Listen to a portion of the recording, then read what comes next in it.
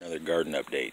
Um, I actually shot one earlier before the rain started, but it got too windy and uh, couldn't really hear much. So, giving another shot here. Um, I've had just enough rain to kind of get things damp, if even that.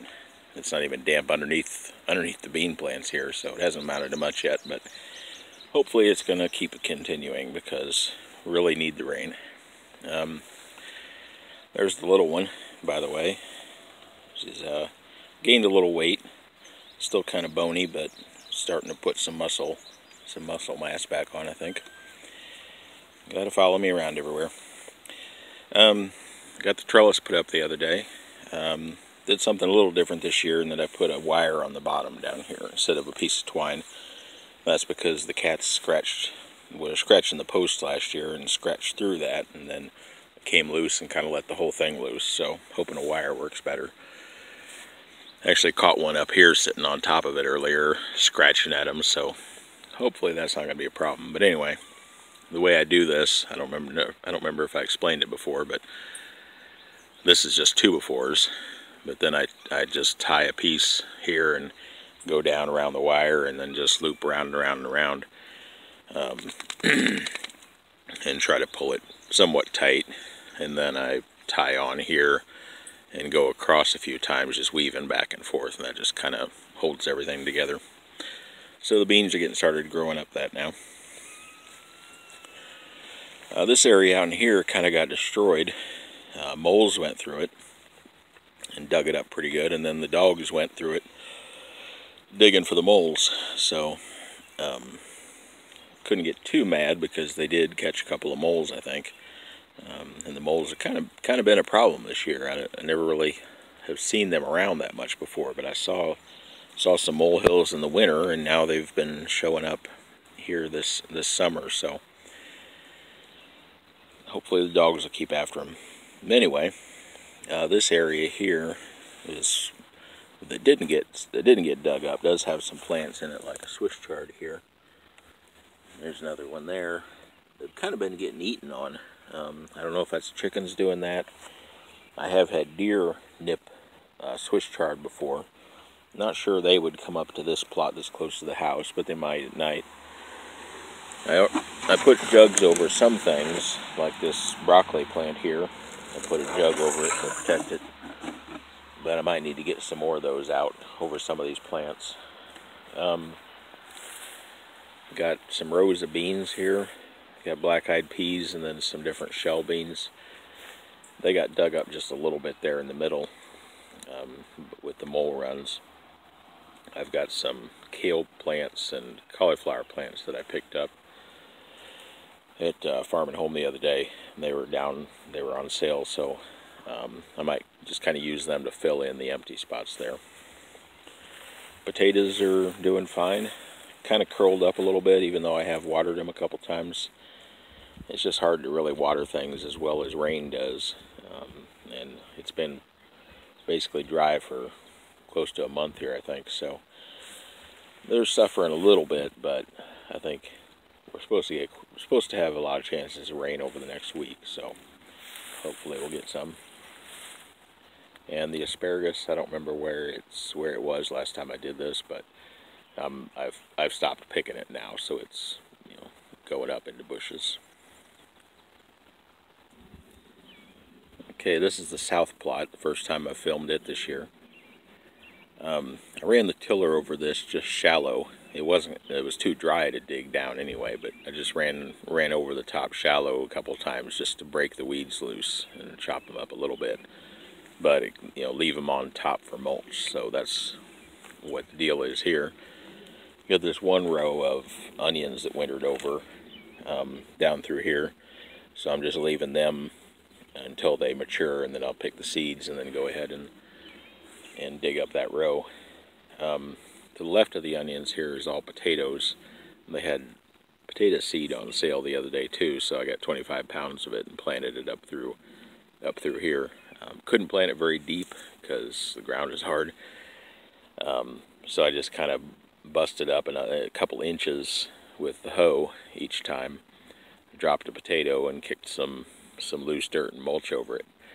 Um, is about all I could do there. Um, I'm probably going to try to bury them in more mulch here once they get once they start growing. Do a late potato sort of thing.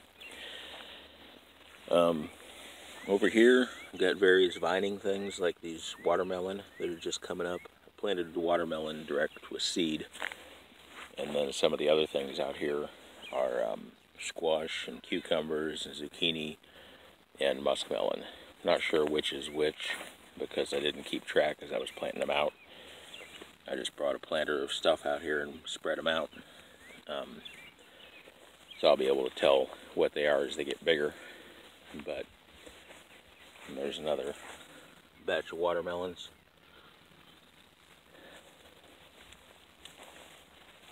But that stuff will all vine and fill up that area. And then got a Swiss chard that I guess survived the winter here. And so it should, if the cat doesn't stomp it down, it should um, go to seed this year. Uh, Swiss chard's a biennial, so if it survives the winter, then it puts on its seed the next the second year. Um, I've never saved seed from anything like that before because you've got to protect it to get it through the winter. But this one was kind of surrounded by weeds. I guess that's why it was. I guess that's why it survived. So that should be interesting. The big fella here has had a rough few days. Um, coon got into the chicken house the other night, killed 15 birds, and got a hold of him and looks like it chewed about half of his comb off. And he lost a lot of feathers too, tail feathers. Um, but he survived, which is pretty impressive. He's he's the oldest rooster and definitely the top dog. But now he seems a little confused because about half of his his harem of hens that travel with him are dead. So he looks a little, he seems a little confused about where they're all at at the moment. But I thought he might have lost his left eye, but now it's the swelling's gone down and it's he's starting to use it again.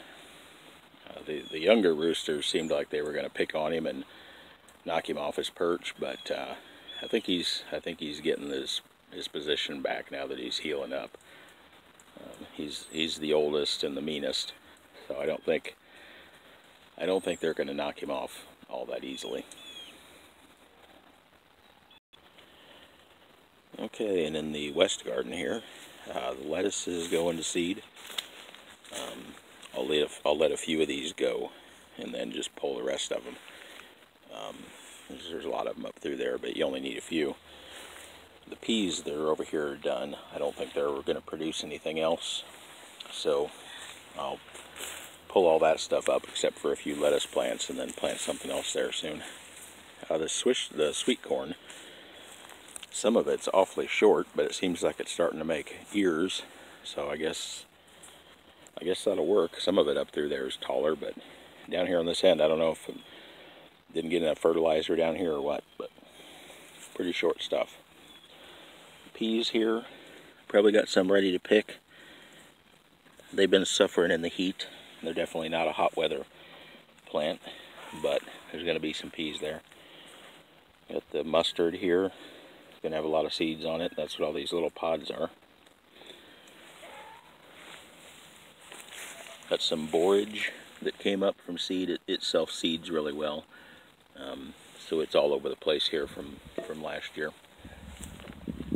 I just let a bunch of them come up when I saw them. Um, let's see, got some carrots here, little patch of carrots. I just got this stuff weeded maybe a week ago. So now it's kind of perking up now that the weeds are out of the way. This stretch of Swiss chard. And then this is, somehow I got broccoli and turnips mixed together here. There's a broccoli, there's a broccoli, there's a broccoli, and then there's turnips.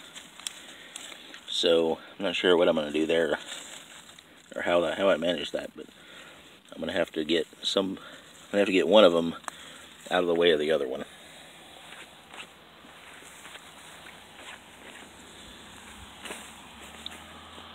Got some beets here. They didn't come up really well through this stretch because it was old seed, but there's a few of them there. Um, these beans right here are a mix of purple, yellow, and green beans.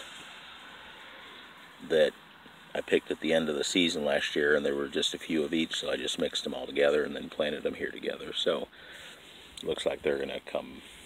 Looks like they're gonna mature at about the same time. Just mix them together, which is good. Then there's a couple of rows of other beans here. I think these, just looking at them, I'd say these are probably pinto beans because they they kind of seem like they would climb if they had something to climb on. They don't need to, but they would if they could. And then that's probably navy beans over there. And then this area out here is what's left. Um, I hit this with the tiller too just to break it up, just to break up the weeds. Um, and I'll have to figure out what gets planted out here. Maybe some more melons or maybe another patch of sweet corn. Um, hard to say. Got to check the check the seed bucket and see what's left in there. So I guess that's it for this time. So thanks for watching. Be back with another one of these in a week or two.